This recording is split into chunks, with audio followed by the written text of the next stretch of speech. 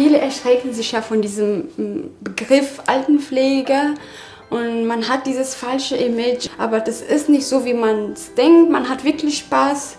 Es ist jeden Tag was Neues. Man lernt auch was von den älteren Leuten.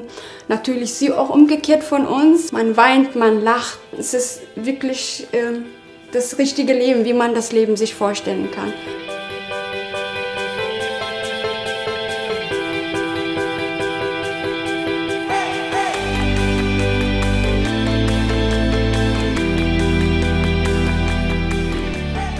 Leitbild von Mission Leben ist ja, die alten Leute, soweit es geht, ähm, zu unterstützen in ihren Ressourcen, dass man ihnen einfach die Selbstständigkeit so lange wie möglich erhält.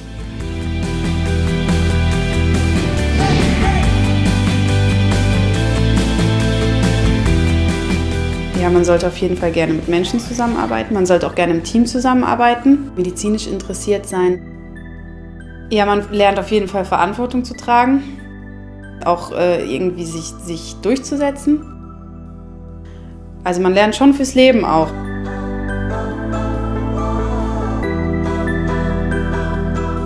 Also meine Aufgabe ist ja als äh, Fachkraft, dass ich dann den Tag quasi strukturiere, dass die äh, Medikamente zum Beispiel rechtzeitig gegeben werden.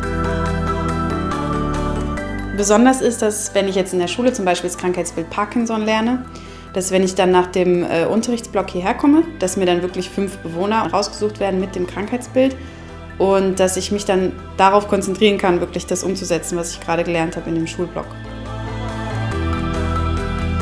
Hier sieht man wirklich, dass man was Sinnvolles macht und der Mensch gibt einem auch viel zurück. Also man kriegt viele liebe Worte von den alten Menschen, also man wird schon geschätzt für die Arbeit.